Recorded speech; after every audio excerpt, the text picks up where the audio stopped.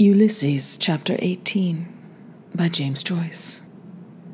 Yes, because he never did thing like that before, as we asked to get his breakfast in bed, with a couple of eggs since the City Arms Hotel when he used to be pretending to be laid up with a sick voice, doing his highness to make himself interesting for that old faggot Mrs. Riordan, that he thought he had a great leg of, and she never left us a farthing, all for masses for herself, and her so greatest miser ever, was actually afraid to lay out four pence for her methylated spirit, telling me all her ailments she had too much old chat in her about politics and earthquakes and the end of the world. Let us have a bit of fun first. God help the world if all women were her sort. Down on bathing suits and low necks. Of course, nobody wanted her to wear them. I suppose she was pious because no man would look at her twice. I hope I'll never be like her. I wonder she didn't want us to cover our faces. But she was a well educated woman, certainly. And her gabby talk about Mr. Riordan here and Mr. Riordan there. I suppose he was glad to get shut of her. And her dog, smelling my fur and always edging up to get up under my petticoats, especially then. Still, I like that in him. Polite old women like that. And waiters and beggars, too.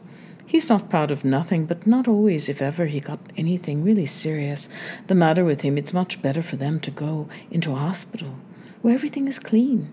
But I suppose I'd have to dring it into him for a month, yes. And then Wednesday have a hospital nurse next thing on the carpet, have him staying there till they throw him out. Or none, maybe. Like the smutty photo he has. She's as much a nun as I'm. Not yes, because they're so weak and puling when they're sick. They want a woman to get well. If his nose bleeds, you'd think it was oh tragic. And that dying look one off the South Circular when he sprained his foot at the choir party at the Sugarloaf Mountain the day I wore that dress. Miss Stack, bringing him flowers, the worst old ones she could find at the bottom of the basket, anything at all to get into a man's bedroom with her old maid's voice, trying to imagine he was dying on account of her. To never see thy face again, though he looked more like a man with his beard, a bit grown in bed, father was the same. Besides, I hate bandaging and dosing. When he cut his toe with the razor paring his corns, afraid he'd get blood poisoning. But if it was a thing I was sick, then Wednesday, see, then we'd see. What attention, only of course the woman hides it not, to give all the trouble they do. Yes, he came somewhere, I'm sure, by his appetite. Anyway, love it's not, or he'd be off his feed thinking of her. So either it was one of those night women, if it was down there he was really, and the hotel story he made up a pack of lies to hide it, planning it. Hynes kept me did I meet? Ah, yes, I met. Do you remember Menton? And who else? Who let me see that big babby face I saw him in, he not long married, flirting with a young girl at Poole's Myriorama, and turned my back on him when he slinked out looking quite conscious. What harm but he had the impudence to make up to me one time well done to him, mouth almighty, and his boiled eyes of all the big stupos I ever met. And that's called a solicitor only, for I hate having a long wrangle in bed, or else it's not that it's some little bitch or other he's got in it with somewhere or picked up on the sly. They only knew him as well as I do, yes, because that day before yesterday he was scribbling something, a letter that I came into the front room to show him Dignam's death in the paper, as if something told me. And he covered it up with the blotting paper, pretending to be thinking about business, so very probably that it was to someone who thinks she has a softy in him, because all men get a bit like that at his age. Especially. Getting on forty he is now. So as to wheedle any money she can out of him, no fool like an old fool. And then the usual kissing my bottom was to hide it. Not that I care two straws now who he does it with, or knew before that way, though I'd like to find out. So as long as I don't have the two of them under my nose all the time, like that slut that Mary we had in Ontario Terrace padding out her false bottom to excite him, bad enough to get the smell of those painted women off him once or twice. I had a suspicion by getting him to come near me when I found the long hair on his coat. Without that one, when I went into the kitchen pretending he was drinking water, one woman is not enough for them. It was all his fault, of course, ruining servants, then proposing that she should eat at our table on Christmas Day, if you please. Oh, no, thank you, not in my house. Stealing my potatoes and the oysters two and sixpence per dozen going out to see her. Aunt, if you please. Common robbery, so it was, but I was sure he had something on with that one. It takes me to find out a thing like that. He said you have no proof. It was her proof. Oh, yes. Her aunt was very fond of oysters, but I told her what I thought of her, suggesting me to go out to be alone with her, I wouldn't lower myself to spy on them. The garters I found in her room. The Friday she was out, that was enough for me, a little too much. Her face swelled up on her with temper when I gave her a week's notice. I saw to that. Better do without them altogether. Do out the rooms myself quicker, only for the damn cooking and throwing out the dirt. I gave it to him anyhow. Either she or me leaves the house. I couldn't even touch him if I thought he was a dirty, barefaced liar, and sloven like that one. Denying it up to my face and singing about the place in the WC too, because she knew she was too well off.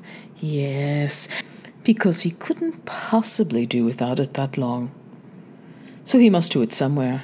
And the last time he came on my bottom when it was the night Boylan gave my hand a great squeeze, going along by the Tolka.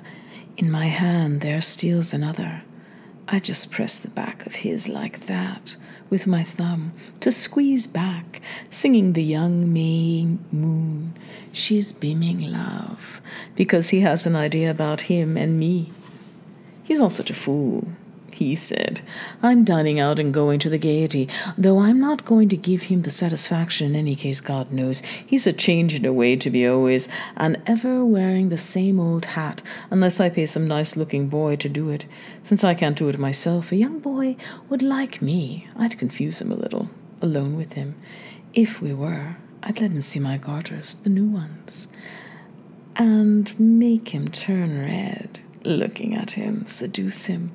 I know what boys feel with that down on their cheek, doing that frigging drawing out the thing by the hour question and answer. Would you do this, that, and the other? With the Colesman, yes. With the bishop, yes. I would, because I told him about some dean or bishop was sitting beside me in the Jews' Temple Gardens when I was knitting that woolen thing. A stranger to Dublin. What place was it? And so on about the monuments, and he tired me out with statues, encouraging him, making him worse than he is.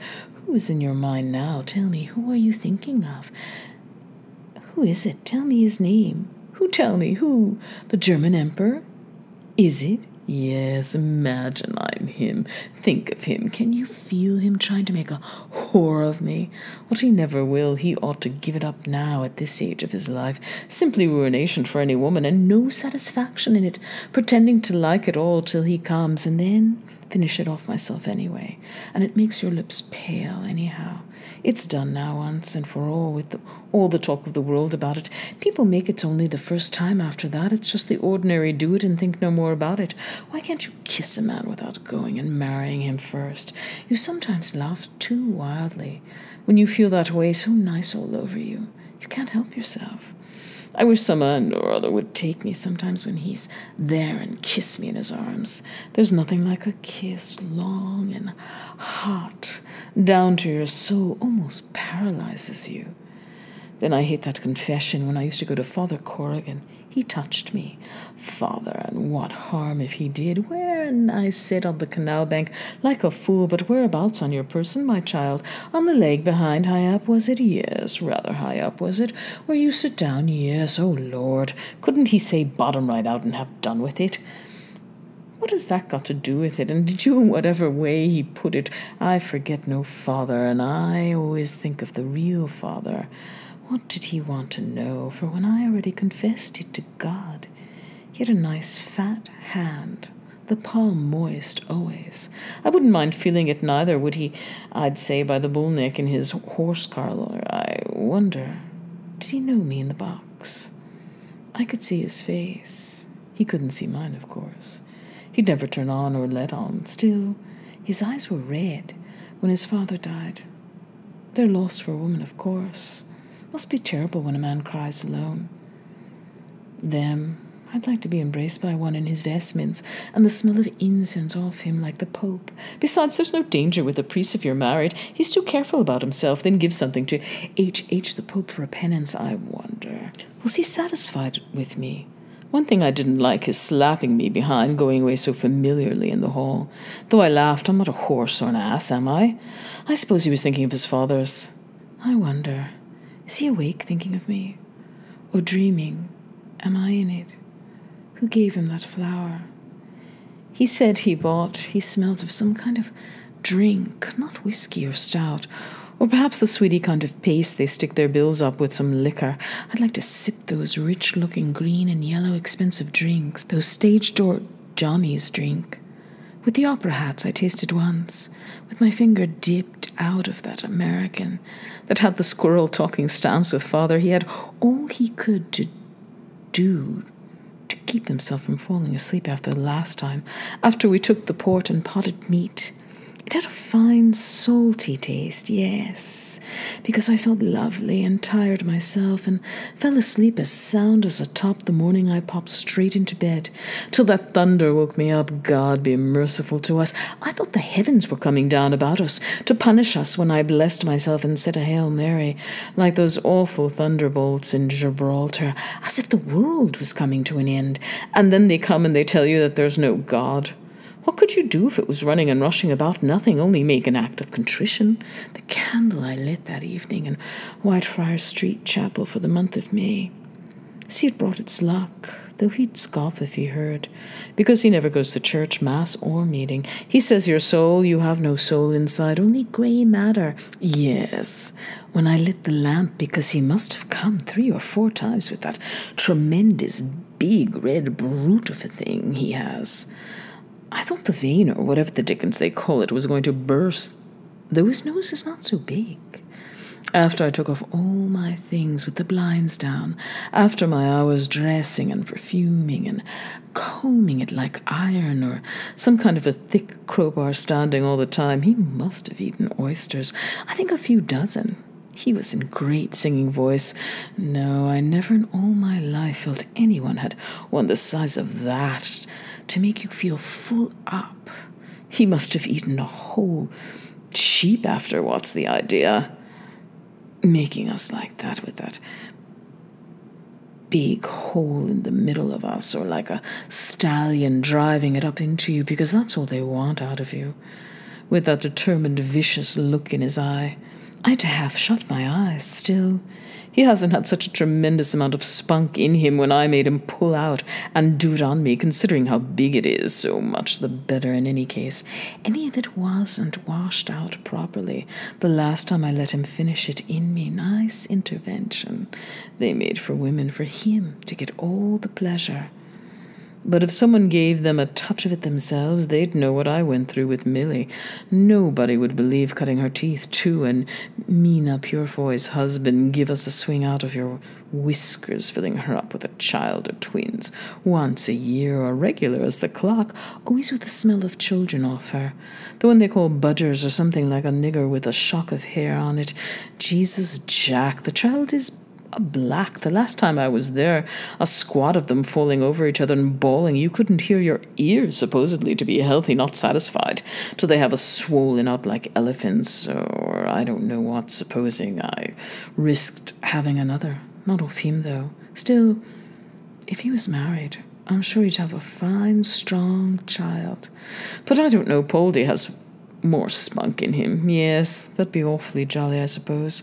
It was meeting Josie Powell and the funeral and thinking about me and Boylan set him off well. He can think what he likes now, if that'll do him any good. I know they were spooning a bit when I came on the scene. He was dancing and sitting out with her the night of the Georgina Simpson's housewarming, and then he wanted to ram it down my neck. It was on account of not liking to see her a wallflower. That was why we had the stand up row over politics. He began it, not me. When he said our Lord being a carpenter at last, he made me cry. Of course, a woman is so sensitive about everything. I was fuming with myself after, for giving in, only for I knew he was gone on me. And the first socialist, he said, he was. He annoyed me so much I couldn't put him into a temper. Still, he knows a lot of mixed up things, especially about the body and the inside. I often wanted to study up that myself. What do we have inside us? In that family physician, I could always hear his voice talking when the room was crowded and watch him after that. I pretended I had a coolness on with her over him because he used to be a bit on the jealous side whenever he asked, Who are you going to? And I said, Over to Floey, and he made me the present of Lord Byron's poems and the three pairs of gloves, so that finished that I could quite easily get him to make it up any time. I know how. I'd even supposing he got in with her again and was going out to see her somewhere I'd know. If he refused to eat the onions, I know plenty of ways. Ask him to tuck down the collar of my blouse, or touch him with my veil and gloves on going out. One kiss. Then would send them all spinning. However, all right, well, see, then let him go to her. She, of course, would only be too delighted, and to pretend she's mad in love with him, that I wouldn't so much mind. I just go to her and ask her, Do you love him? And look her square in the eyes. She couldn't fool me, but he might imagine he was, and made a declaration to her with his plabbery kind of a manner, like he did to me, though I had the devil's own job to get it out of him, though I liked him for it, that it showed he could hold in, and wasn't to be got for the asking. He was on the pop of asking me, too the night in the kitchen. I was rolling the potato cakes. There's something I want to say to you, only for I put him off letting on I was in a temper with my hands and arms full of pasty flour in any case. I came out too much the night before talking of dreams, so I didn't want to let him know more than was good for him. She used to be always embracing me, Josie, whenever he was there, meaning him, of course, glouming me over. And when I said washed up and down as far as possible, asking me, and did you wash possible? The women are always egging on to that putting it on thick when he's there. They know by his sly eye blinking a bit, putting on the indifferent when they come out with something the kind he is. What spoils him, I don't wonder in the least, because he was very handsome at that time, trying to look like Lord Byron, I said. I liked, though, that he was too beautiful for a man, and he was a little before we got engaged. Afterwards, though, she didn't like it so much the day I was in fits of laughter with the giggles. I couldn't stop about all my hairpins falling out one after another with the mass of hair I had. You're always in great humor, she said. Yes, because it grigged her. Because she knew what it meant. Because I used to tell her a good bit of what went on between us. Not all, but just enough to make her mouth water. But that wasn't my fault. She didn't darken the door much after we were married. I wonder what she's got like now, after living with that dotty husband of hers. She had her face beginning to look drawn and run down the last time I saw her. She must have been just after a row with him because I saw in the moment she was edging to draw down a conversation about husbands and talk about him to run him down. What it was, she told me, oh, yes, that sometimes he used to go to bed with his muddy boots on when the maggot takes him. Just imagine having to get into bed with a thing like that. That might murder you any moment. What a man. Well, it's not the one way everyone goes mad. Poldy, anyhow. Whatever he does always wipes his feet on the mat, and when he comes in bed, wet or shine, always blacks his own boots too. And he takes off his hat when he comes up in the street, like then and now. He's going about in his slippers to look for a ten thousand pounds for a postcard. You up, up, up, oh, sweet May. Wouldn't a thing like that simply bore you stiff to extinction? Actually, too stupid even to take his boots off. Now, what could you make of a man like that? I'd rather die twenty times over than marry another of their sex. Of course, he'd never find another woman like me to put up with him the way I do. No, me, come sleep with me, yes. And he knows that too at the bottom of his heart. Take that Mrs. Maybrick that poisoned her husband for what I wonder in love with some other man. Yes, it was found out on her, wasn't she? The downright villain to go and do a thing like that. Of course, some men can be dreadfully aggravating, drive you mad, and always the worst word in the world. What do they ask us to marry them for? If we're so bad as all that. Comes to, yes, because they can't get on without us. White arsenic. She put in his tea. All flypaper, wasn't it? I wonder why they call it that. If I asked him, he'd say it's from the Greek, leave us as wise as we were. Before, she must have been madly in love with the other fellow to run the chance of being hanged. Oh, she didn't care if that was her nature. What could she do besides? They're not brutes enough to go and hang a woman, surely, are they? They're all so different. Boylan talking about the shape of my foot, he noticed at once, even before he was introduced, when I was in the DBC with Poldy laughing and trying to listen. I was waggling my foot. We both ordered two teas and plain bread and butter, and I saw him looking with his two old maids of sisters when I stood up, and asked the girl where it was, what I do care, with it dropping out of me in that black closed breeches he made me buy. Takes you half an hour to let them down. Wetting all myself always with some brand new fad every other week. Such a long one. I did. I forgot my suede gloves on the seat. Behind that, I never got after some robber of a woman, and he wanted me to put it in the Irish Times, lost in the ladies' lavatory, DBC Dame Street. Find a return to Mrs. Marion Bloom. And I saw his eyes on my feet going out through the turning door. He was looking when I looked back. And I went there for tea two days after, in the hope, but he wasn't now. How did that excite him? Because I was crossing them when we were in the other room. First, he meant the shoes that are too tight to walk in. My hand is nice like that. If only I had a ring with the stone for my month, a nice aquamarine I'll stick him for one and a gold bracelet. I don't like my foot so much. Still, I made him spend once with my foot the night after Goodwin's botch up of a concert. So cold and windy it was well we had the rum in the house to mull, and the fire wasn't black out when he asked to take off my stockings, lying on the hearthrug in Lombard Street West and another time it was my muddy boots he'd like me to walk in all the horse's dung I could find. But of course he's not natural like the rest of the world. That I what did he say? I could give nine points in ten to Katty Lanner and beat her. What does that mean? I asked him. I forget what he said because the stop press edition just passed, and the man with the curly hair and the Lucan deli, that's so polite. I think I saw his face somewhere. Before, I noticed him when I was tasting the butter, so I took my time. Bartell d'Arcy, too, that he used to make fun of when he commenced kissing me on the choir stairs, after I sang Gounod's Ave Maria. What are we waiting for, oh my heart? Kiss me straight on the brow, and part, which is my brown part. He was pretty hot for all his tinny voice, too. My low notes he was always raving about, if you can believe him. I liked the way he used his mouth singing. Then he said he wasn't it terrible to do that there in a place like that.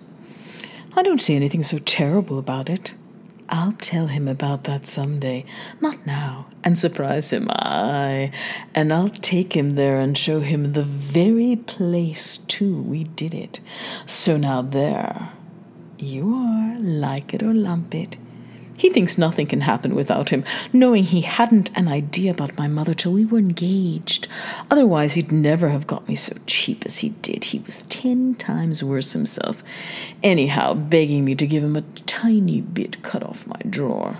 That was the evening coming along Kenilworth Square. He kissed me in the eye of my glove, and I had to take it off, asking him questions. Is it permitted to inquire the shape of my bedroom? So I let him keep it as if I forgot it to think of me when I saw him slip it into his pocket. Of course, he's mad on the subject of drawers. That's plain to be seen always, skeezing at those brazen faced things on the bicycles with their skirts blowing up to their navels. Even when Milly and I were out with him at the open air feet, that one in the cream muslin standing right against the sun, so he could see every atom she had on when he saw me from behind following in the rain. I saw him before he saw me, however, standing at the corner of the Harold's Cross Road with a new raincoat on him, with the muffler and the Zingari colours to show off his complexion, and the brown hat looking sly boots as usual. What was he doing there? Where he'd no business, they can go and get whatever they like from anything at all with a skirt on it. And we're not to ask any questions, but they want to know where were you? Where are you going? I could feel him coming along skulking after me, his eyes on my neck. He had been keeping away from the house. He felt it was getting too warm for him, so I half turned and stopped. Then he pestered me to say yes, till I took off my gloves slowly, watching him.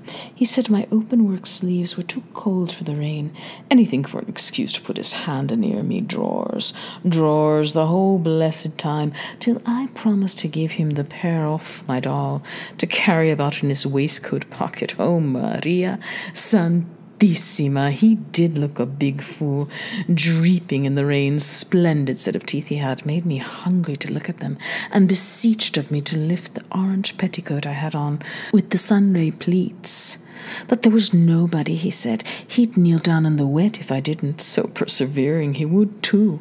And ruin his new raincoat. You never knew what freak they'd take alone with you. They're so savage for it. If anyone was passing, so I lifted them a bit and touched his trousers outside the way I used to Gardner after with my ring hand to keep him from doing worse. Where it was too public, I was dying to find out was he circumcised? He was shaking like a jelly all over. They want to do it everything too quick. Take all the pleasure out of it, and father waiting all the time for his dinner. He told me to say I left my purse in the butcher's and had to go back for it. What a deceiver. Then he wrote me that letter with all those words in it, how he could have the face to any woman after his company matters, making it so awkward.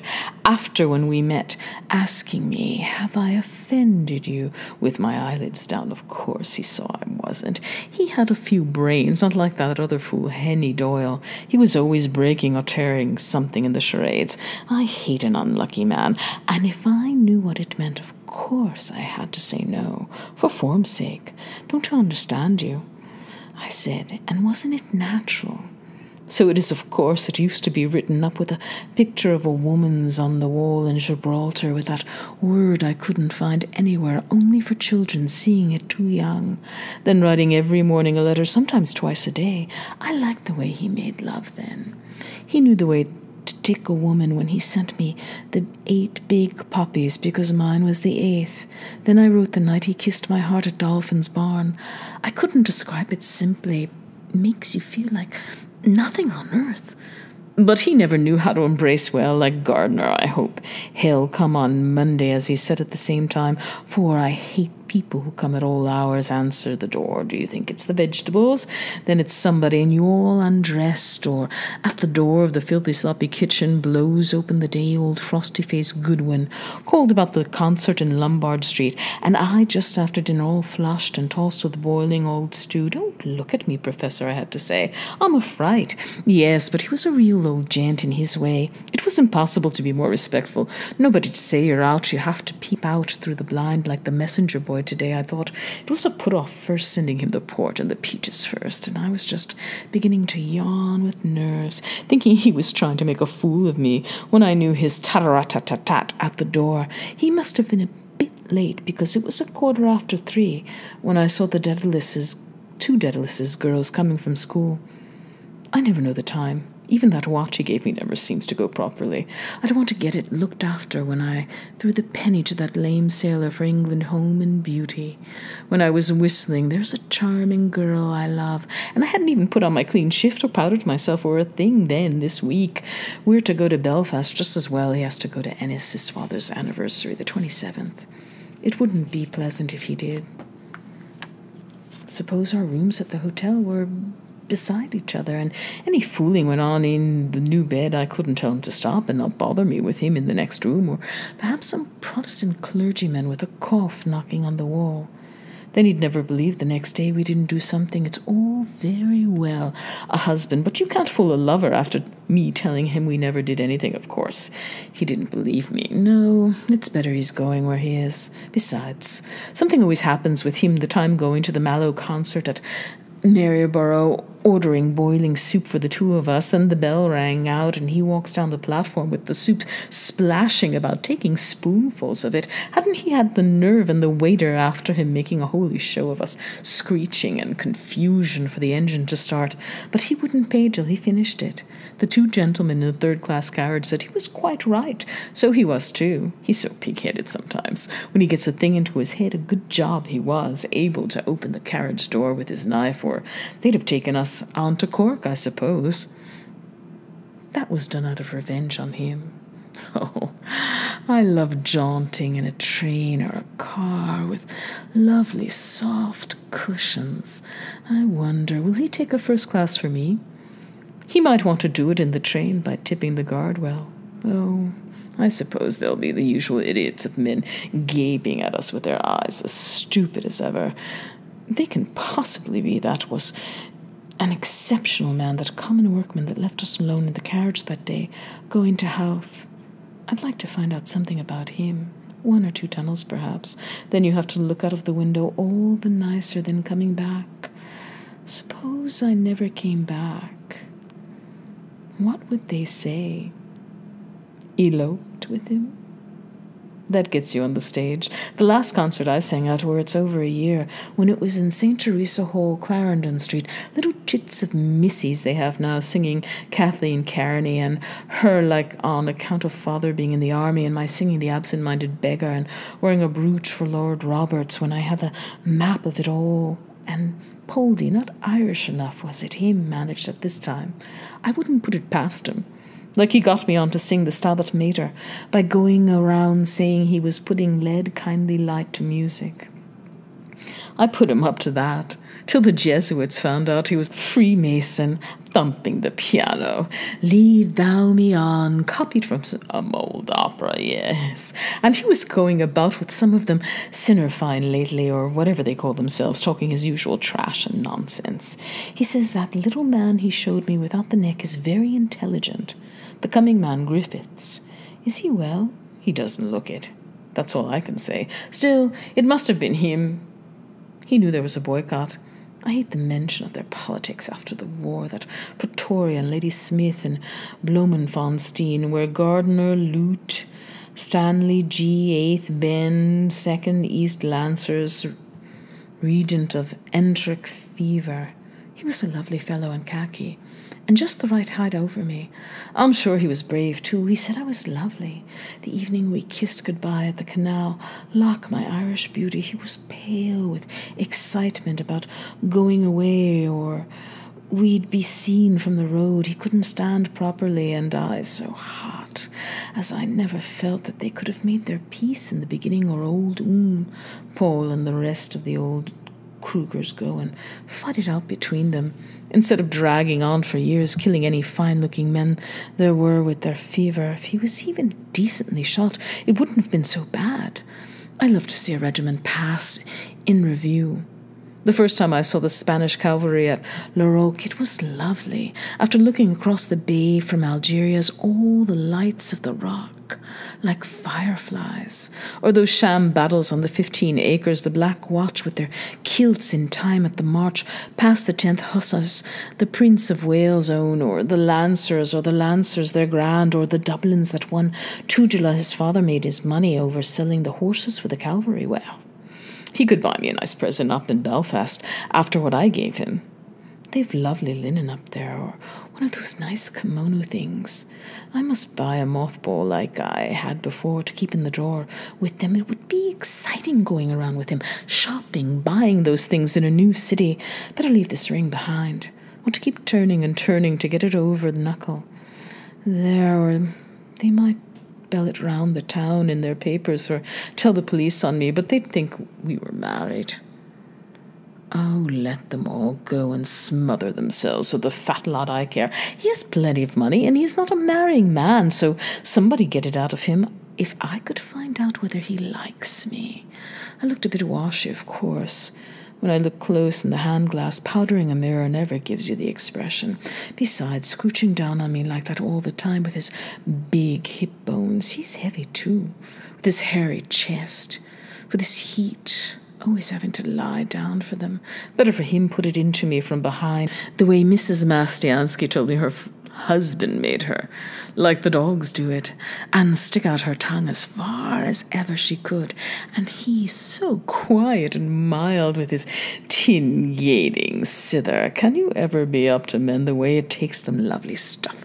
in that blue suit he had on, and stylish ties and socks with the sky blue silk things on them. He's certainly well off. I know by the cut of his clothes, have and his heavy watch, but he was like a perfect devil for a few minutes after he came back with the stop press, tearing up the tickets and swearing blazes because he lost twenty quid. He said he lost over that outsider, that one and a half he put on me for account of Lenehan's tip, cursing him to the lowest pits, that sponger. He was making free with me after the Glencree dinner, coming back that long jolt over the Featherbed Mountain, after the Lord Mayor looking at me with his dirty eyes, Val Dillon, that big heathen. I first noticed him at dessert, when I was cracking the nuts with my teeth. I wished I could have picked every morsel of that chicken out of my fingers. It was so tasty and browned and as tender as anything, only for I didn't want to eat everything on my plate. Those forks and fish slices were hallmark silver, too. Hmm. I wish I had some.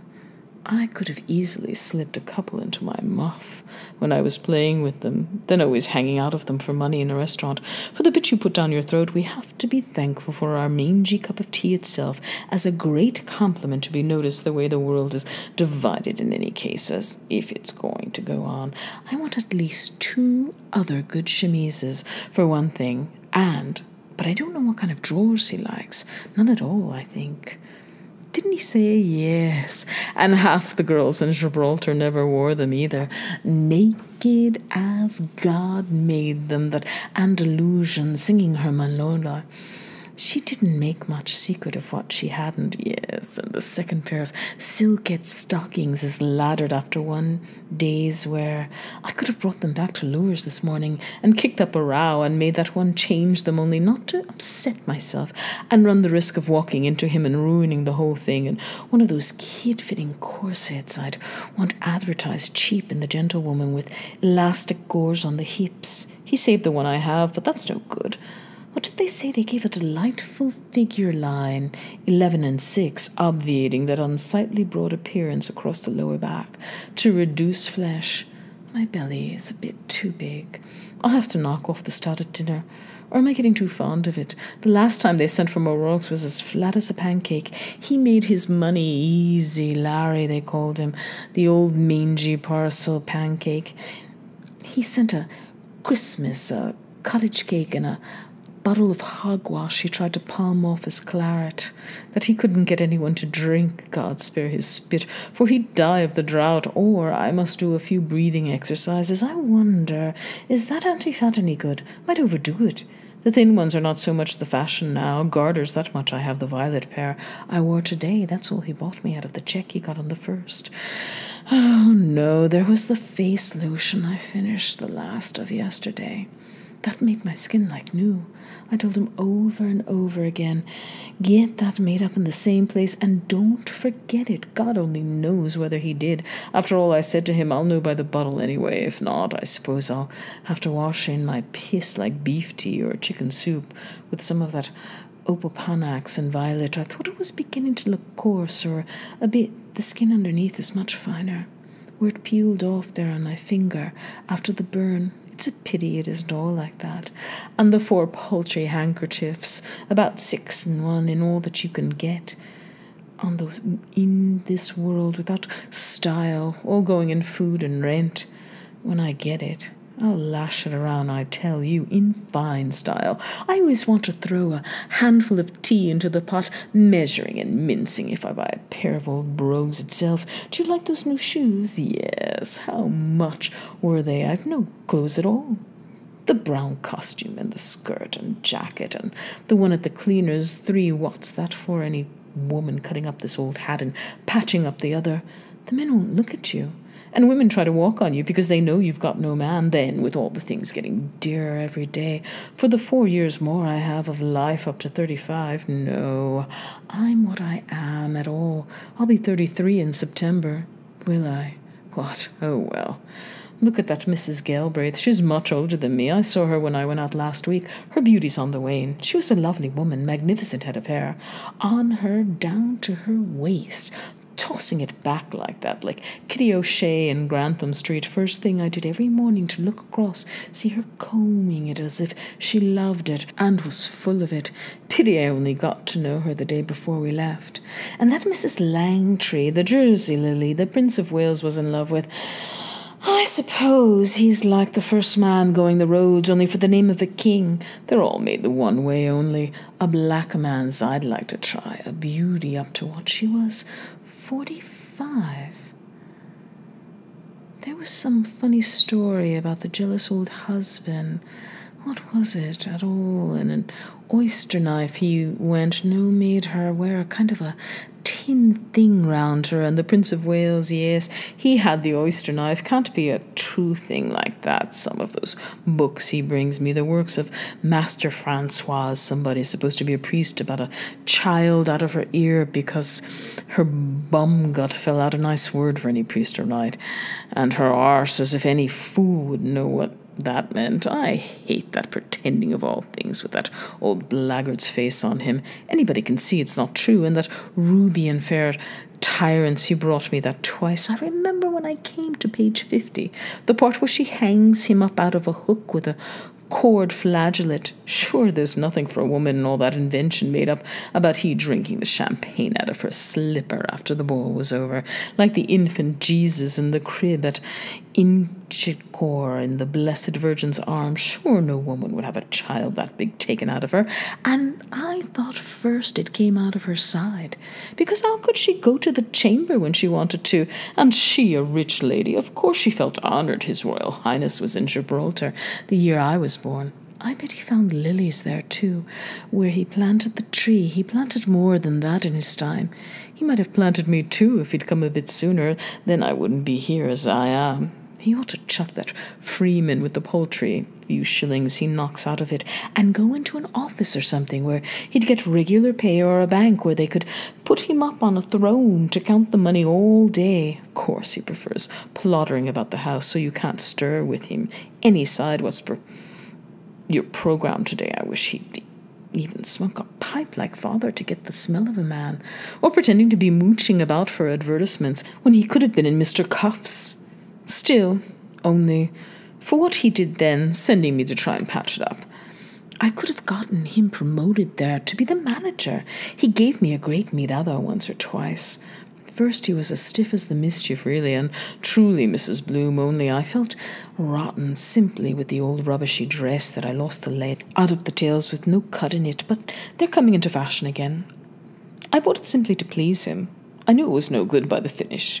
Pity I changed my mind of going to Todd and Burns, as I said, and not Lee's. It was just like the shop itself, rummage sale, a lot of trash. I hate those rich shops. Get on your nerves. Nothing kills me altogether. Oh, only he thinks he knows a great lot about a woman's dress and cooking, mathering everything he can, scour off the shelves into it if I went by his advices. Every blessed hat I put on. Does that suit me? Yes. Take that. That's all right. The one like a wedding cake standing up miles off my head, he said suited me. Or the dish cover one coming down on my backside on pins and needles about the shop girl in that place in Grafton Street. I had the misfortune to bring him into, and she as insolent as ever she could be with her her smirk, saying, I'm afraid we're giving you too much trouble. What's she there for? But I stared it out of her. Yes, he was awfully stiff, and no wonder. But he changed the second time. He looked poldy pig headed as usual, like the soup, but I could see him looking very hard at my chest when he stood up to open the door for me. It was nice of him to show me out in any case. I'm extremely sorry, Mrs. Bloom. Believe me, without making it too marked. The first time after him being insulted and me supposed to be his wife, I just half smiled. I know my chest was out that way at the door when he said, I'm extremely sorry. And I'm sure you were. Yes, I think he made them a bit firmer, sucking them like that so long. He made me thirsty titties, he calls them. I had to laugh, yes. This one, anyhow, stiff the nipple gets for the least thing. I'll get him to keep that up, and I'll take those eggs beaten up with Marsala fatten out for him. What are we all those veins and things? Curious the way it makes two the same. In case of twins, they're supposed to represent beauty, placed up there like those statues in the museum, one of them pretending to hide it with her hand, are they so beautiful? Of course, compared with what a man looks like with his two bags full and his other thing hanging down out of him or sticking up at you like a hat rack. No wonder they hide it with a cabbage leaf, that disgusting Cameron Highlander behind the meat market or that other wretch with the red head behind the tree where the statue of the fish used to be when I was passing, pretending he was pissing, standing out for me to see it with his baby clothes up one side. The Queen's own they were. A nice lot. It's well the Surreys relieved them. They're always trying to show it to you every time. Nearly I passed outside the men's greenhouse near the Harcourt Street station just to try some fellow or they're trying to catch my eye as if it was one of the seven wonders of the world. Oh, and the stink of those rotten places. The night coming home with Poldy after the Comerfords party oranges and lemonade to make you feel nice and watery. I went into one of them. It was so biting cold I couldn't keep it. When was that? 93. The canal was frozen, yes. It was a few months after. A pity a couple of the Camerons weren't there to see me squatting in the men's place. Meadero. I tried to draw a picture of it before I tore it up like a sausage or something. I wonder they're not afraid going about of getting a kick or a bang or something. There, the woman is a beauty, of course, that's admitted. When he said I could pose for a picture naked to some rich fellow in Holles Street when he lost the job in Helys, and I was selling the clothes and strumming the coffee palace, would I be like the bath of the nymph with my hair down? Yes, only she's younger. Or I'm a, a little like that dirty bitch in that Spanish photo he has of nymphs. They used to, they go about like that. I asked him about her and that word meant something with hoses in it. And he came out with some jawbreakers about the incarnation. He can never explain a thing simply. The way a body can understand, then he goes and burns the bottom of the panel for his kidney. This one, not so much. There's the mark of his teeth still, where he tried to bite the nipple. I had to scream out. Aren't they fearful, trying to hurt you? I had a great breast of milk with Milly enough for two. What was the reason of that? He said, I could have got a pound a week as a wet nurse, all swelled out in the morning, that delicate looking student that stopped in number 28 with the citrons Penrose nearly caught me washing through the window. Only for I snapped up the towel to my face. That was his studenting hurt me. They used to weaning her till he got her Dr. Brady to give me the belladonna prescription I had to get him to suck them. They were so hard. He said it was sweeter and thicker than cows. Then he wanted to milk me into the tea. Well, he's beyond everything, I declare. Somebody ought to put him in the budget. If I could only remember the one half of the things and write a book out of it, The Works of Master Poldy. Yes, and it's so much smoother, the skin. Much an hour he was at them, I'm sure by the clock, like some kind of big infant I had at me. They want everything in their mouth, all the pleasure those men get out of a woman. I can feel his mouth. Oh, Lord. I must stretch myself. I wished he was here, or someone to let myself go with and come again. Like that, I feel all fire inside me. Or if I could dream it, when he made me spend the second time tickling me behind with his finger. I was coming for about five minutes with my legs around him. I had to hug him after, oh Lord. I want to shout out all sorts of things. Fuck or shit or anything at all, only not to look ugly, or those lines from the strain. Who knows the way he'd take it? You want to feel your way with a man. They're not all like him, thank God. Some of them want you to be so nice about it. I notice the contrast. He does it and doesn't talk.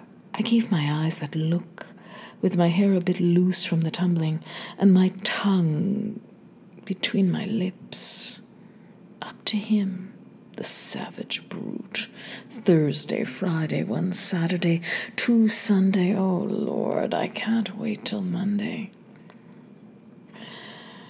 Freeze from train somewhere whistling.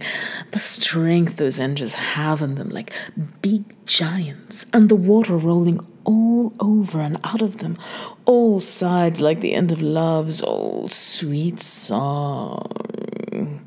The poor men that have to be out all the night from their wives and families in those roasting engines, stifling it was today. I'm glad I burned the half of those old Freemans.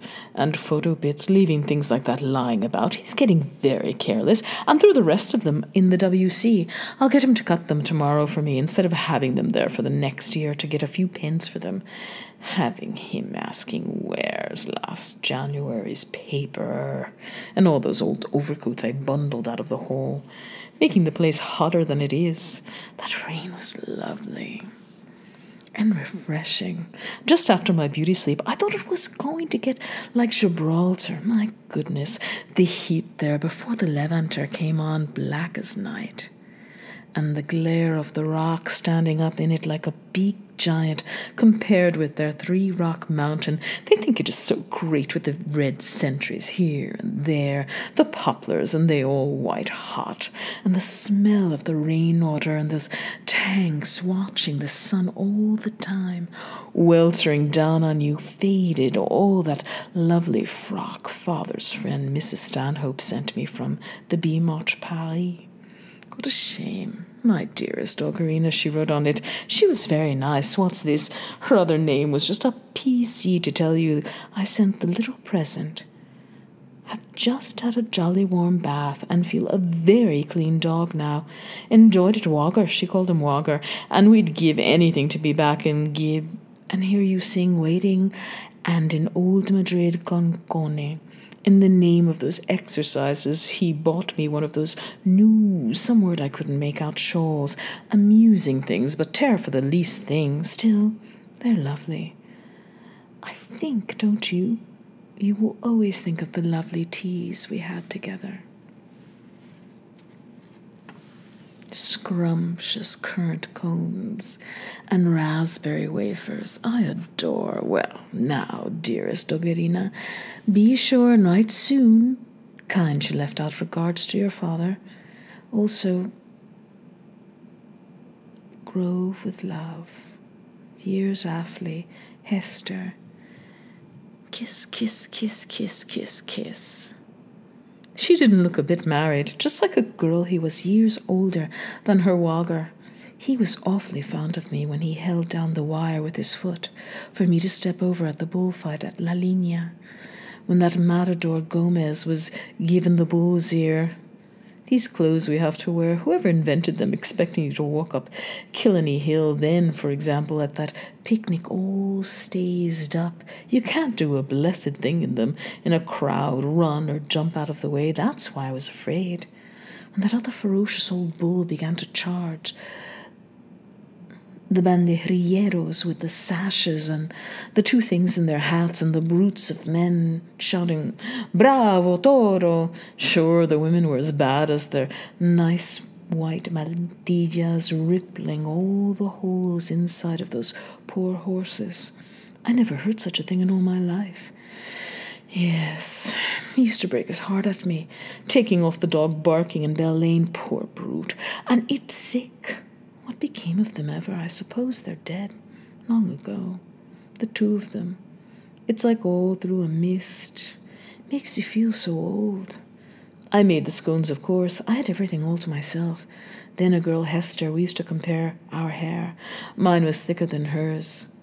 She showed me how to settle it at the back when I put it up, and what's this else how, how to make a knot on a thread with the one hand. We were like cousins. What age was I then? The night of the storm. I slept in her bed. She had her arms around me. Then we were fighting in the morning with the pillow. What fun he was watching me. Whenever he got an opportunity at the band on the Alameda Esplanade, when I was with father and Captain Grove, and I looked up at the church first, and then at the windows, then down, and our eyes met, I felt something go through me like all needles. My eyes were dancing. I remember after when I looked at myself in the glass, hardly recognized myself, the change. He was attractive to a girl, in spite of his being a little bald, intelligent looking, disappointed and gay at the same time he was, like Thomas in the shadow of Ashlydyat. I had a splendid skin from the sun, and the excitement like a rose. I didn't get a wink of sleep. It wouldn't have been nice on account of her, but I could have stopped it in time. She gave me the Moonstone to read. That was the first I read of Wilkie Collins. East Lynne I read, and The Shadow of Ashlydyat, Mrs. Henry Wood, Henry Dunbar, by that other woman I lent him afterwards, with the Mulveys photo in it. So as he see, I wasn't without and Lord Lytton Eugene Aram Molly Bawn. She gave me by Mrs. Hungerford on account of the name. I don't like books with a Molly in them, like that one he brought me about the one from Flanders, a whore always shoplifting anything she could cloth and stuff and yards of it. Oh, this blanket is too heavy on me. That's better. I haven't even one decent nightdress. This thing gets all rolled up under me besides him and his fooling. That's better. To be weltering then in the heat, my shift drenched with the sweat stuck in the cheeks of my bottom on the chair.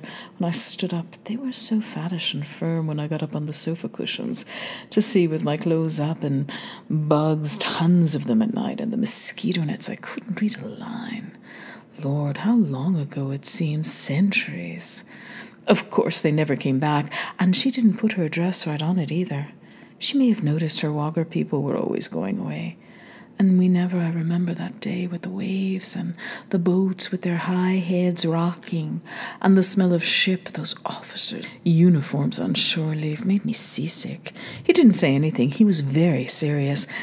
I had the high button boots on and my skirt was blowing. She kissed me six or seven times.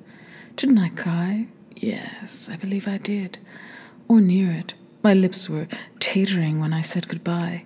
She had a gorgeous wrap of some kind of blue color on her for the voyage, made very peculiarly to one side like, and it was extremely pretty. It got as dull as the devil after they went. I was almost planning to run away, mad out of it somewhere where we're never easy where we were. Our father or aunt or marriage waiting always, waiting to guide him to me nor speed, his flying feet, their damn guns bursting and booming all over the shop, especially the Queen's birthday, and throwing everything down in all directions if you didn't open the windows, when General Ulysses Grant, whoever he was, or did suppose to be some great fellow, landed off the ship in Old Sprague, the council that was there, from before the flood, dressed up, poor man, and he in mourning for the sun, and the same old bugles for reveille in the morning, and drums rolling, and the unfortunate poor devils of soldiers walking with their mess tins, smelling the place more than the old long bearded Jews in their Jellibies and Levites assembly. And sound clear, and gunfire for the men to cross the lines, and the warden marching with his keys to lock the gates and the bagpipes, and only Captain Groves and father talking about the Rorke's Drift, and Plevna, and Sir Garnet Wolseley, and Gordon at Khartoum, lighting their pipes for them every time they went out. Drunken old devil with his grog on the windowsill, catching him leaving any of it, picking his nose, trying to think of some other dirty story to tell up in a corner, but he never forgot himself when I was there, sending me out of the room on some blind excuse, paying his compliments, the Bushmills whiskey talking, of course, but he'd do the same to the next woman that came along. I suppose he died of galloping drink ages ago.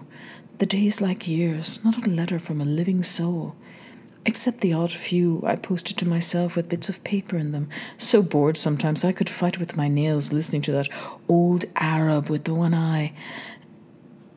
And he, his hiss of an instrument singing his heya, heya, heya, oh my compliment on your hutchaputch of your haas, oh as bad as now with the hands hanging off me, looking out of the window. If there was a nice fellow even in the opposite house, that medical in Holles Street the nurse was after when I put on my gloves and hat at the window to show I was going out, not a notion what I meant. Aren't they thick? Never understand what you say even you'd want to print it up on a big poster for them, not even if you shake hands twice with the left. He didn't recognize me either when I half frowned at him outside Westland Row Chapel. Where does their great intelligence come in? I'd like to know. Grey matter. They have it all in their tail, if you ask me. Those country gougers up in the City Arms Intelligence, they had a damn sight less than the bulls and the crows they were selling the meat, and the Colesman's bill, that noisy bugger trying to swindle me with the wrong bill. He took out of his hat what? A pair of paws and pots and pans and kettles to mend any broken bottles for a poor man today, and no visitors or post ever, except his checks or some advertisement like the wonder worker they sent him addressed, Dear Madam, only his letter and the card from Milly this morning. See, she wrote a letter to him. Who did I get the last letter from? Oh, Mrs. Dwenn. Now, what possessed her to write from Canada after so many years to know the recipe I had for pisto madrileño? Floey Dillon, since she wrote to say she was married to a very rich architect, if I'm to believe all I hear, with a villa and eight rooms. Her father was an awfully nice man. He was near seventy, always good humored. Well, now, Miss Tweedy or Miss Gillespie, there's the pioneer. That was a solid silver coffee service he had, too, on the mahogany sideboard, then dying so far away. I hate people that have always their poor story to tell everybody, has their own troubles. That poor Nancy Blake died a month ago of acute pneumonia. Well, I didn't know her so well as all that. She was Floey's friend more than mine. Poor Nancy. It's a bother having to answer. He always tells me the wrong things, and no stops to say, like making a speech or sad bereavement sympathy. I always make that mistake. A nephew with a double U's in. I hope he'll write me a longer letter the next time, if it's a thing he really likes. Thanks be to the great God, I got somebody to give me what I want. Badly wanted to put some heart up into me. You've no chances at all in this place, like you used long ago. I wish somebody would write me a love letter. His wasn't much, and I told him he could write what he liked. Yours ever, Hugh Boylan in Old Madrid stuff. Silly women believe love is sighing. I am dying. Still, if he wrote it, I suppose there'd be some truth in it. True or no, it fills up your whole day and life. Always something to think about every moment and see it all around you like a new world. I could write the answer in bed to let him imagine me. Short, just a few words, not those long crossed letters Atty Dillon used to write to the fellow that was something in the four courts that jilted her after out of the lady's letter writer when I told her to say a few simple words he could twist how he liked, not acting with precipit precip intimacy with equal candor the greatest earthly happiness answer to a gentleman's proposal affirmatively my goodness there's nothing else it's all gent very fine for them but as for being a woman as soon as you're old they might as well throw you in the bottom of the ash pit Mulvey's was the first when I was in bed that morning, and Mrs. Rubio it in with the coffee. She stood there, standing, when I asked her to hand me and I pointed at them, I couldn't think of the word, a hairpin, to open it with the uh, horquilla, this obliging old thing in it, staring her in the face with her switch of false hair on her and vain about her appearance, ugly as she was, near eighty or a hundred, her face a mass of wrinkles with all her religion domineering because she could never get over the Atlantic fleet coming in, half the ships of the world, and the Union Jack flying with all her carabineros because four drunken English sailors took all the rock from them and because I didn't run into Mass often enough in Santa Maria to please her with her shawl up on her, except when there was a marriage on, with all her miracles of the saints and her black blessed Virgin with the silver dress and the sun dancing three times on Easter Sunday morning, and when the priest was going by with the bell bringing the Viaticum to the dying, blessing herself for his Majestad. An admirer, he signed it. I near jumped out of my skin. I wanted to pick him up when I saw him following me along the Calle Real in the shop window. Then he tipped me just in passing, but I never thought he'd write making an appointment. I had it inside my petticoat bodice all day, reading it up in every hole and corner while father was up at the drill, instructing, to find out by the handwriting or the language of stamps, singing. I remember. Shall I wear a white rose? And I wanted to put on the old stupid clock. To near the time, he was the first man kissed me under the Moorish wall, my sweetheart. When a boy, it never entered my head what kissing meant till he put his tongue in my mouth. His mouth was sweet like young. I put my knee up to him a few times to learn the way. What did I tell him? I was engaged for for fun to the son of a Spanish nobleman named Miguel de la Flora, and he believed me that I was to be married to him in three years' time. There's many a true word spoken in jest. There is a flower that bloometh. A few things I told him true about myself, just for him to be imagining the Spanish girls he didn't like. I suppose one of them wouldn't have him. I got him excited. He crushed all the flowers on my bosom he brought me. He couldn't count the pesetas and the perragordas till I taught him Cappoquin. He came from, he said, on the Blackwater, but it was too short. Then the day before he left May, yes, it was May, when the infant king of Spain was born. I'm always like that in the spring. I'd like a new fellow every year up on the tip top under the rock gun near O'Hara's tower. I told them it was struck by lightning and all about the old Barbary apes they sent to Clapham without a tail careering all over the show on each other's back. Mrs. Rubio said she was a regular old rock scorpion, robbing the chickens out of the Inces farm and throw stones at you if you went anear. He was looking at me. I had that white blouse on open in the front to encourage him as much as I could, without too openly. They were just beginning to be plump. I said I was tired. As we lay over the fir tree cove, a wild place, I suppose it must be the highest rock in existence. The galleries and casemates and those frightful rocks in St. Michael's Cave with the icicles or whatever they call them hanging down, and ladders, all the mud plotching my boots. I'm sure that's the way down the monkeys go under the sea to Africa when they die the ships out far like that. Chips that was. The Malta boat passing, yes. The sea and the sky, you could do what you liked, lie there forever. He caressed them outside. They love doing that. It's the roundness there. I was leaning over him with my white rice straw hat to take the newness out of it the left side of my face the best, my blouse open. For his last day, transparent kind of shirt he had, I could see his chest pink. He wanted to touch mine with his for a moment, but I wouldn't let him. He was awfully put out first, for fear you never know consumption or leave me with a child embarazada. That old servant Ines told me that one drop, even if it got into you at all, after I tried with the banana, but I was afraid it might break and get lost up in me somewhere because they once took something down out of a woman that was up there for years, covered with lime salts. They're all mad to get in there. When they come out of you, think they could never go far enough up, and then they're done with you. In a way, till the next time. Yes, because there's a wonderful feeling there, so tender all the time. How did we finish it off?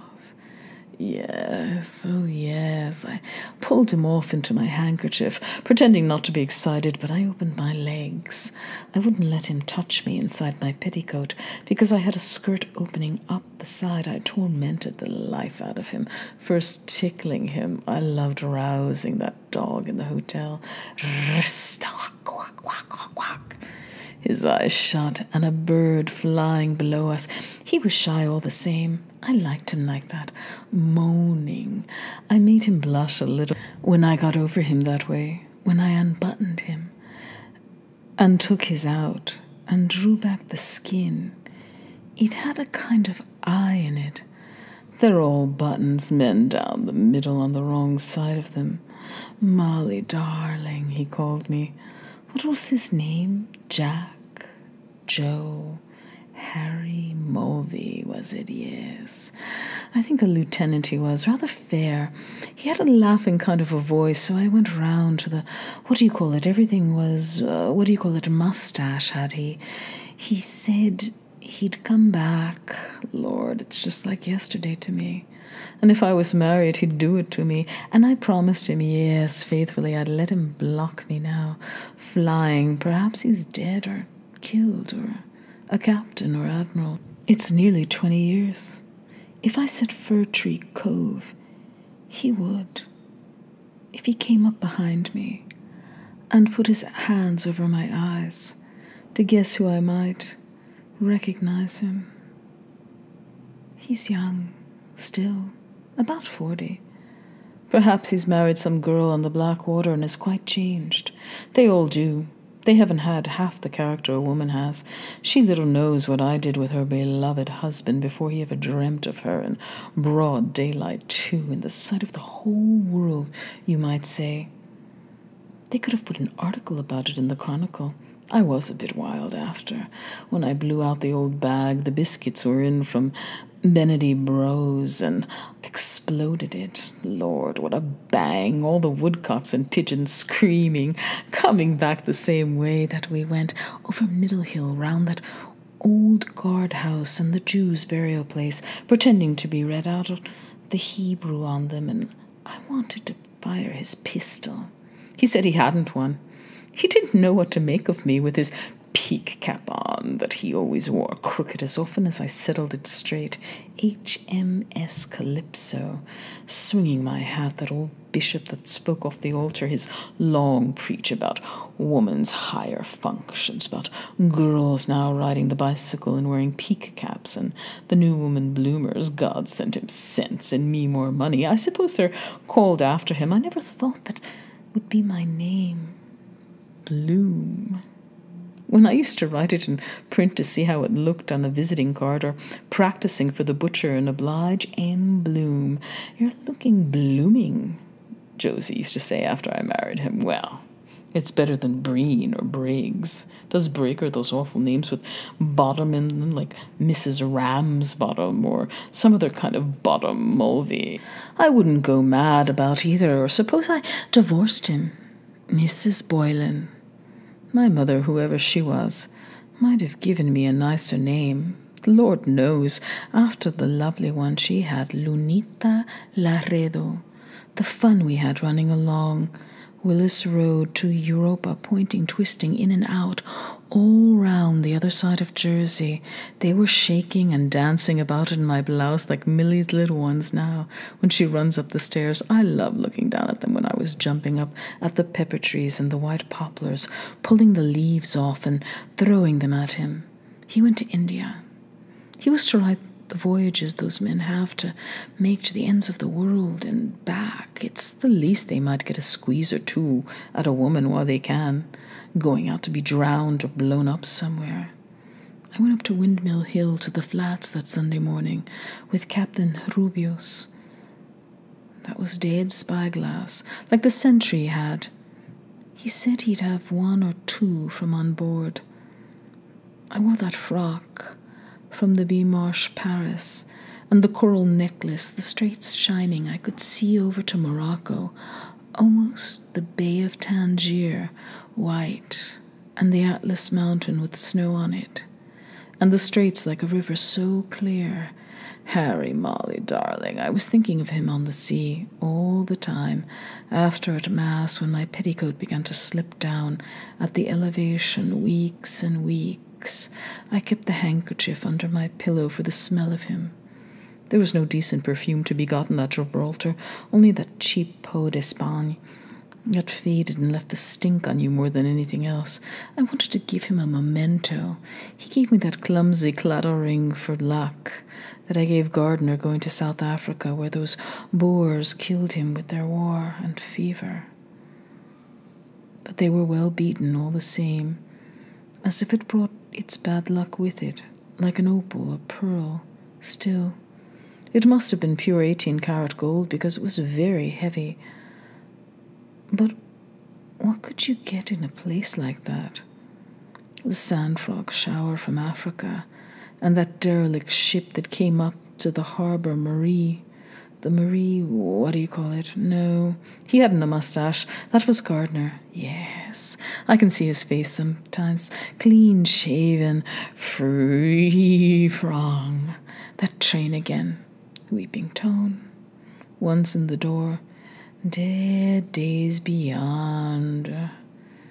Cole. Close my eyes. Breathe my lips forward. Kiss Sad look eyes, open piano, ere o'er the world the mists began. I hate that East's beg. Comes love, sweet song. I'll let that out full when I get in front of the footlights again. Kathleen Kearney and her lot of squealers, miss this, miss that, miss the other. Lot of sparrow farts kidding around, talking about politics they know as much about as my backside, anything in the world to make themselves somewhat interesting Irish homemade beauties. Soldier's daughter am I, I. And whose are you, bootmakers and publicans? I beg your pardon, coach. I thought you were wheelbarrow. They died down dead off their feet if they ever got a chance of walking down the Alameda on an officer's arm like me on the band night, my eyes flash, my bust, that they haven't. Passion, God help their poor. Head I knew more about man and life when I was fifteen than they'll know at fifty. They don't know how to sing a song like that. Gardner said no man could look at my mouth and teeth smiling like that and not think of it. I was afraid he mightn't like my accent first. He's so English. All father left me in spite of his stamps. I've my mother's eyes. And figure, anyhow. He always said they're so snotty about themselves. Some of those cads, he wasn't a bit like. He was dead gone on my lips. Let them get a husband first, that's fit to be looked at, and a daughter like mine, or see if they can excite a swell with money that can pick and choose whoever he wants, like Boylan, to do it four or five times, locked in each other's arms. Or the voice either I could have been a prima donna, only I married him, comes loves. Oh, deep down, chin, back, not too much, make it double. My lady's bowers, too long for an encore about the moated grange at twilight and vaunted rooms. Yes, I'll sing Winds That Blow from the South that he gave me after the choir stairs performance. I'll change that lace on my black dress to show off my bubs. And I'll, yes, by God, I'll get that big fan mended, make them burst with envy. My hole is itching me, always when I think of him. I feel I want to feel some wind in me. Better go easy, not wake him. Have him at it again, slobbering after washing every bit of myself back, belly, and sides, if we had even a bath itself or my own room anyway. I wish he'd sleep in some bed by himself with his cold feet on me. Give us room even to let a fart, God, or do the least thing better, yes. Hold him like that a bit on my side piano quietly. Sweet. There's that train far away, pianissimo. Yeah. One more song. That was a relief. Wherever you be, let your wind go free. Who knows if that pork chop I took with my cup of tea after was quite good with the heat? I couldn't smell anything off of it. I'm sure that queer looking man in the pork butcher's is a great rogue. I hope that lamp is not smoking. Fill my nose up smuts better than having him leaving the gas on all night. I couldn't rest easy in my bed in Gibraltar, even getting up to see why. I was so damned nervous about that. Though I liked it in the winter. It's more company. Oh Lord, it was rotten cold too that winter, when I was only about ten was, yes. I yes, I had that big doll with all the funny clothes, dressing her up and undressing her that icy wind skeeding across from those mountains, the something Nevada, Sierra Nevada, standing at the fire with a little bit of a short shift I had up to heat myself. I loved dancing about in it, then make a race back into bed. I'm sure that fellow opposite used to be there the whole time watching with the lights out in the summer, and I in my skin hopping around. I used to love myself then stripped at the washstand, dabbing and creaming.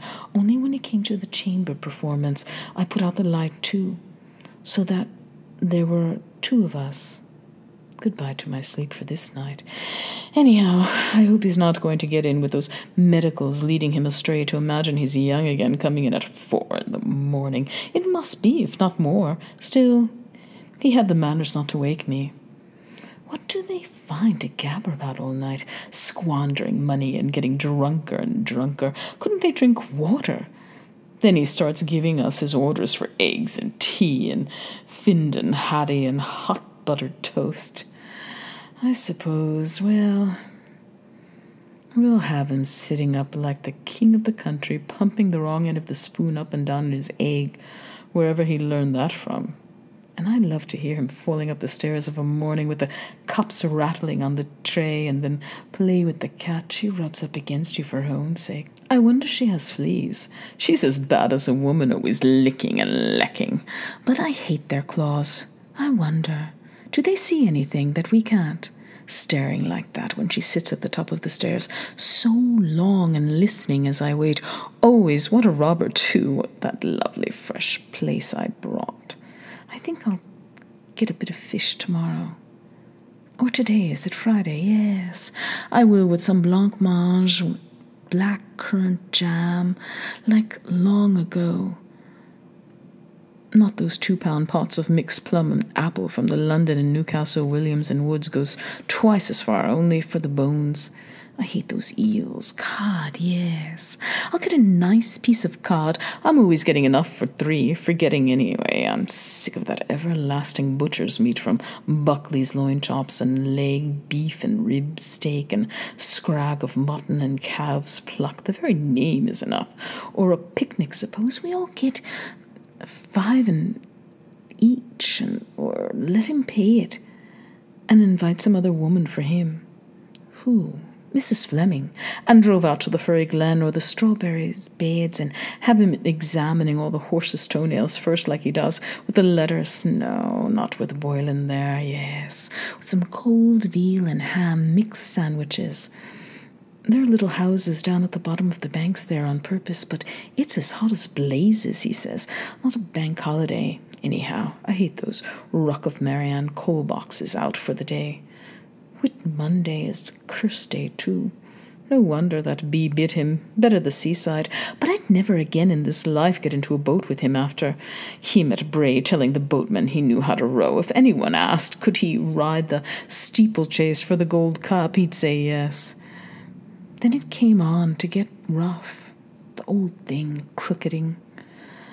crooketing about and the weight all down my side, telling me, pull the right reins, now pull the left, and tide all swamping in floods and through the bottom, and his oar slipping out of the stirrup. It's a mercy we weren't drowned. He can swim, of course. Me, no, there's no danger whatsoever. Keep yourself calm in his flannel trousers. I'd like to have tattered them down off him before all the people and give him what the one calls flagellate till he was black and blue. Do him all the good in the world, only for that long nosed chap, I don't know who he is, with that other beauty Burke out of the City Arms Hotel, was there spying around as usual on the slip, always where he wanted, if there was a row on. You'd vomit a better face. There was no love lost between us. That's one consolation. I wonder, what kind is that book he brought me? Sweets of Sin by a gentleman of fashion. Some other Mr. de Kock, I suppose. The people gave him that nickname going about with his tube from one woman to another. I couldn't even change my new white shoes, all ruined with the salt water and the hat I had, with that feather all blowy and tossed on me. How annoying and provoking, because the smell of the sea excited me. Of course, the sardines and the bream in the Catalan Bay, round the back of the rock, they were fine, all silver. In the fishermen's baskets, old Luigi, near a hundred, they said, came from Genoa.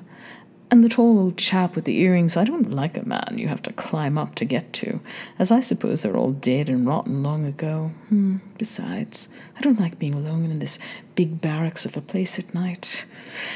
I suppose I'll have to put up with it. I never brought a bit of salt in, even when we moved in the confusion. Musical Academy he was going to make on the first floor drawing room. With a brass plate or Bloom's private hotel, he suggested go and ruin himself altogether the way his father did, down in Ennis, like all the things he told father he was going to do with and me, but I saw through him telling me all the lovely places we would go for the honeymoon Venice by moonlight, with the gondolas and the Lake of Como. He had a picture cut out of some paper of, and mandolins and lanterns. Oh, how nice, I said. Whatever I liked, he was going to do immediately, if not sooner. Will you be my man? Will you carry my can? He ought to have to get a leather medal with a putty rim for all the plans he invents, leaving us here all day. You'd never know what old beggar at the door for a crust with his long story might be a tramp and put his foot in the way to prevent me shutting it, like that picture of that hardened criminal he was called in Lloyd's Weekly News. Twenty years in jail. Then he comes out and murders an old woman for her money. Imagine his poor wife or mother or whoever she is. Such a face you'd run miles away from. I couldn't rest easy till I bolted all the doors and windows to make sure, but it's worse again being locked up like in a prison or a madhouse. They ought to be all shot. Or the cat o' nine tails, a big brute like that, would attack a poor old woman to murder her in her bed. I'd cut them off him so I would not, that he'd be much use still better than nothing the night I was sure I heard burglars in the kitchen, and he went down in his shirt with a candle and a poker as if he was looking for a mouse as white as a sheet frightened out of his wits, making as much noise as he possibly could for the burglar's benefit. There isn't much to steal, indeed, the Lord knows still. It's the feeling, especially now with Milly away. Such an ideal for him to send the girl down there. To learn to take photographs on account of his grandfather, instead of sending her to Skerry's Academy, where she'd have to learn not like me, getting all ones at school, only he'd do a thing like that.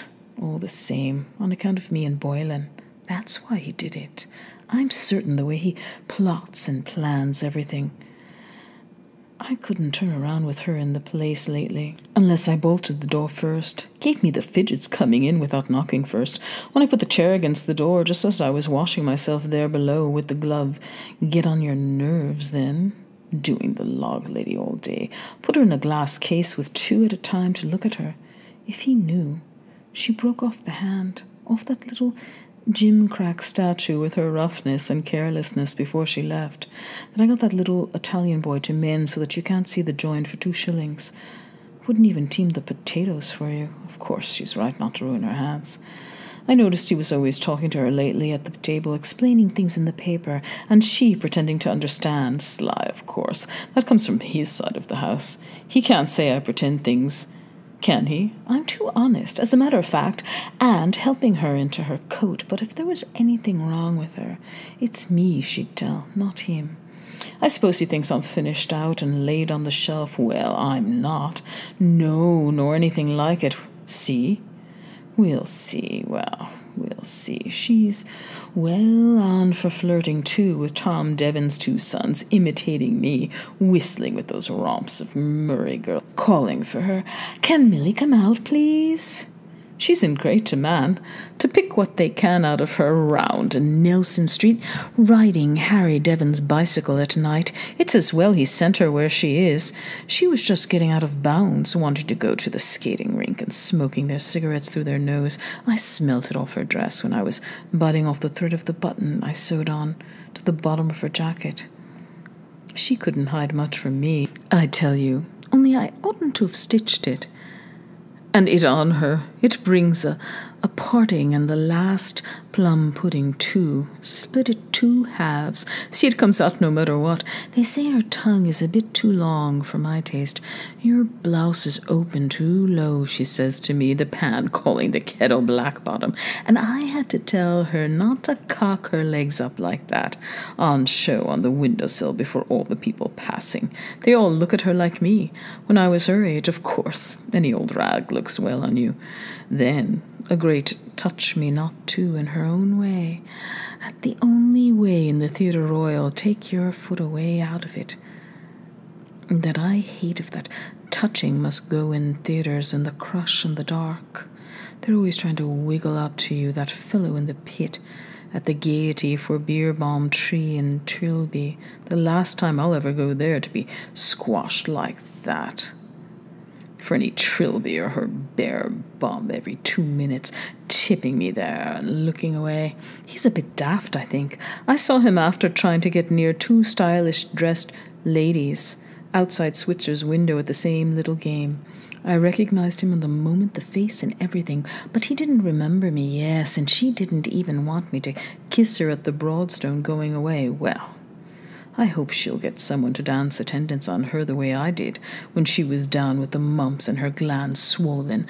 Where's this? Where's that? Of course, she can't feel anything deep yet. I never came properly till I was, what, twenty two or so?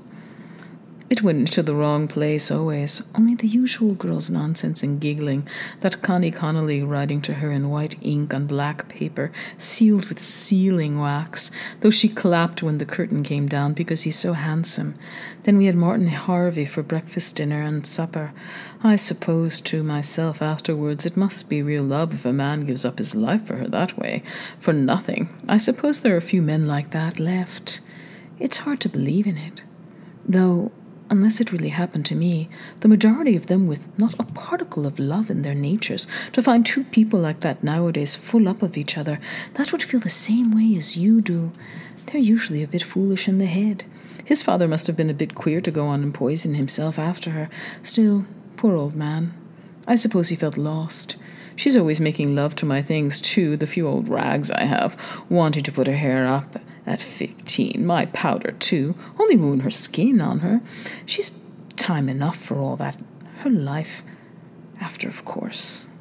She's restless knowing She's pretty with her lips so red. A pity they won't stay that way. I was too, but there's no use going to the fair with that thing answering me like a fish woman when I asked to go for a half a stone of potatoes the day we met Mrs. Joe Gallaher at the trotting matches, and she pretended not to see us in her trap with Friery, the solicitor. We weren't grand enough. Till I gave her one damn fine cracks across the ear for herself. Take that now for answering me like that, and that for your impudence. She had me that exasperated, of course, contradicting. I was bad tempered too. Because how was it that there was a, a weed in the tea, or I didn't sleep the night before? Cheese, I it was it, and I told her over and over again not to leave knives crossed like that because she has nobody to command her. As she said herself, well, if he doesn't correct her faith, I will. That was the last time she turned on the tear tap. I was just like that myself. They daren't order me about the place. It's his fault, of course. having the two of us slaving here instead of getting in a woman long ago. Am I ever going to have a proper servant again? Of course, then she'd see him coming, I'd have to let her know, or she'd revenge it. Aren't they a nuisance, that old Mrs. Fleming? You have to be walking around after her, putting the things into her hands, sneezing and farting into the pots. Well, of course she's old. She can't help it. A good job I found that rotten old smelly dishcloth that got lost behind the dresser. I knew there was something and opened the area window to let out the smell, bringing in his friends to entertain them like the night he walked home with a dog, if you please, that might have been mad, especially Simon Dedalus, his son, his father, such a criticizer, with his glasses up, with his tall hat on him at the cricket match, and a great big hole in his sock. One thing laughing at the other, and his son that got all those prizes for whatever he won them in. The intermediate. Imagine climbing over the railings if anybody saw him that knew us. I wonder he didn't tear a big hole in his grand funeral trousers. As if the one nature gave wasn't enough for anybody hawking him down into the dirty old kitchen now. Is he right in his head? I ask pity. It wasn't washing day. My old pair of drawers might have been hanging up two on the line on exhibition for all he'd care, with the iron mold mark, stupid old bundle burned on them. He might think that was something else. And she'd never even rendered down the fat, I told her. And now she's going such as she was on account of her paralyzed husband getting worse. There's always something wrong with them disease, or they have to go under an operation, or if it's not that, it's drink and he beats her. I have to hunt around again for someone. Every day I get up, there's some new thing on. Sweet God, sweet God. When I'm stretched out in my grave, I suppose I'll have some peace. I want to get up in a minute. If I'm let wait, oh Jesus, wait, yes. That thing has come on me now, yes. Wouldn't that afflict you? Of course. All the poking and rooting and ploughing he had up in me now. What am I to do Friday, Saturday, Sunday? Wouldn't that pester the soul out of a body unless he likes it? Some men do. God knows there's always something wrong with us. Five days every three or four weeks. Usual monthly auction. Isn't it simply sickening that night it came on me? Like the one that the one and only time we were in a box that Michael Gunn gave him to see Mrs. Kendal and her husband at the Gaiety. Something he did about insurance for him and Drimmies. I was fit to be tied, though I wouldn't give in, with that gentleman of fashion staring down at me, with his glasses, and him the other side of me, talking about Spinoza and his soul. That's dead, I suppose, millions of years ago. I smiled the best I could, all in a swamp, leaning forward as if I was interested, having to sit it out then to the last tag. I won't forget that wife of Scarli in a hurry, supposed to be a fast play about adultery, that idiot in the gallery, hissing the woman adulteress, he shouted. I suppose he went and had a woman in the next lane running round all the back ways to make up for it. I wish he had. What I had then. He'd boo, I bet. The cat itself is better off than us. Have we too much blood up in us, or, or what? Oh, patience above. It's pouring out of me like the sea. Anyhow, he didn't make me pregnant as big as he is. I don't want to ruin the clean sheets I just put on. I suppose the clean linen I wore brought it on too. Damn it, damn it, damn it. And they're always want to see a stain on the bed to know you're a virgin for them. All that's troubling them. They're such fools, too. You could be a widow or divorced forty times over a daub of red ink would do, or blackberry juice. No, that's too purply. Oh, Jamesy, let me out out of this poo sweets of sin. Whoever suggested that business for women? What between clothes and cooking and children, this damned old bed too jingling like the dickens. I suppose they could hear us away over the other side of the park till I suggested to put the quilt on the floor with the pillow under my bottom. I wonder, is it nicer in the day? I think it is easy. I think I'll cut all this hair off me. There, scalding me, I might look like a young girl. Wouldn't he, the great sucking, the next time he turned up my clothes on me? I'd give anything to see his face. Where's the chamber gone? Easy. I've a holy horror of it breaking under me after that old commode. I wonder, was I too heavy sitting on his knee? I made him sit on the easy chair purposely. When I took off my only blouse and skirt first in the other room, he was so busy where he oughtn't to be, he never felt me. I hope my breath was sweet after those kissing comfits. Easy God, I remember one time I could it out straight, whistling like a man. Almost easy, oh Lord, how noisy. I hope there bubbles on for it. A wad of money for some fellow. I'll have to perfume it in the morning, don't forget. I bet he never saw a better pair of thighs than that look. How white they are. The smoothest place is right there between this bit here. How soft like a peach. Easy, God. I wouldn't mind being a man and get up a lovely woman. Oh, Lord, what a row you're making like the Jersey lily. Easy, easy. Oh, how the waters come down at Lahore. Who knows? Is there anything the matter with my insides, or have I something growing in me getting that thing like that every week when it was last I, which Monday, yes. It was only about three weeks ago. I ought to go to the doctor, only it would be like before I married him, when I had that white thing coming from me, and Floey made me go to that dry old Dr. Collins for women's diseases on Pembroke Road. Your vagina, he called it. I suppose that's how he got all the gilt mirrors and carpets getting around those rich ones off Stephen's Green, running up to him for every little fiddle faddle. Her vagina and her cochinchina. They've got money, of course, and so they're all right. I wouldn't marry him, not if he was the last man in the world. Besides, there's something queer about their children, always smelling around those filthy bitches all sides, asking me if what I did had an offensive odor. What did you want me to do? But the one thing gold may be, what a question if I smothered it all over his wrinkly old face for him with all my compliments. I suppose he'd know then. And could you pass it easily pass what I thought he was talking about the Rock of Gibraltar, the way he put it? It's a very nice invention, too, by the way. Only I like letting myself down after in the hole, as far as I can. Squeeze and pull the chain and flush it nice, cool pins and needles. Still, there's something in it, I suppose. I always used to know by Milly's, when she was a child, whether she had worms or not. Still, all the same, paying him for that. How much is that, doctor? One guinea, please. And asking me, had I frequent omissions? Where do those old fellows get all the words they have?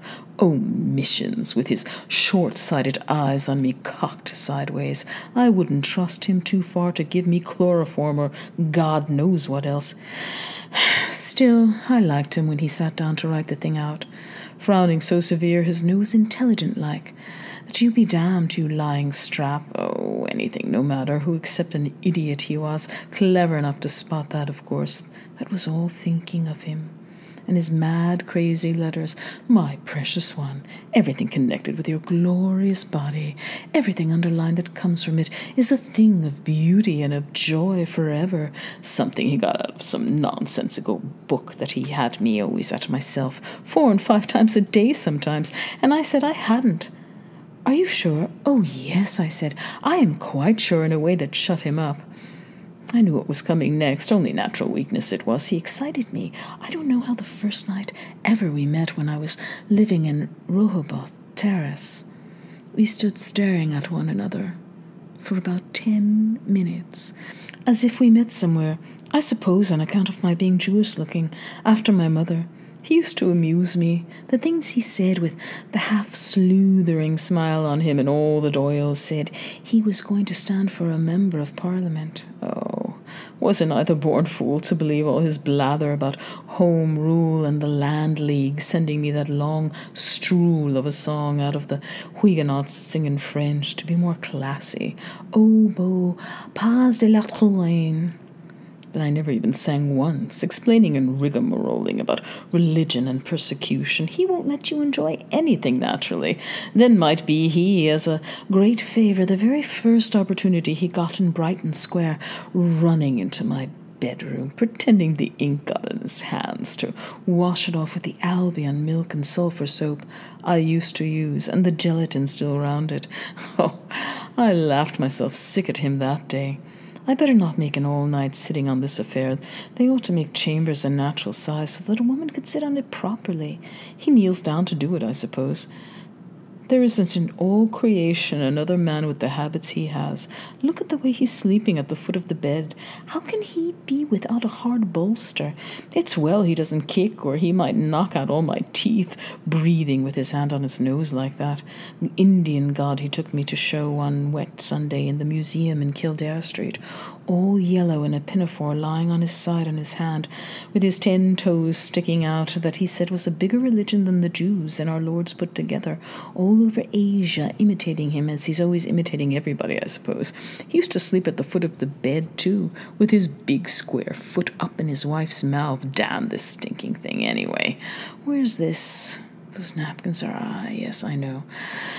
I hope the old press doesn't creak. I knew it would. He's sleeping hard. Had a good time somewhere. Still, she must be giving him great value for his money. Of course, he had to pay for it from her. Oh, this nuisance of a thing. I hope they'll have something better for us in the other world. Tying ourselves up. God help us, that's all right for tonight. Now, the lumpy old jingly bed always reminds me of old Cohen. I suppose he scratched himself in it often enough, and he thinks father bought it from Lord Napier that I used to admire when I was a little girl because I told him easy piano. Oh, I like my bed.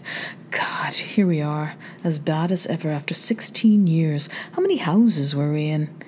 At all Raymond Street and Ontario Terrace and Lombard Street and Holles Street, and he goes about whistling every time we're on the run again.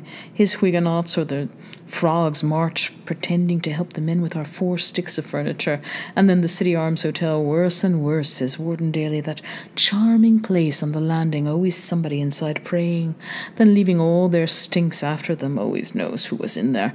Last time, every time.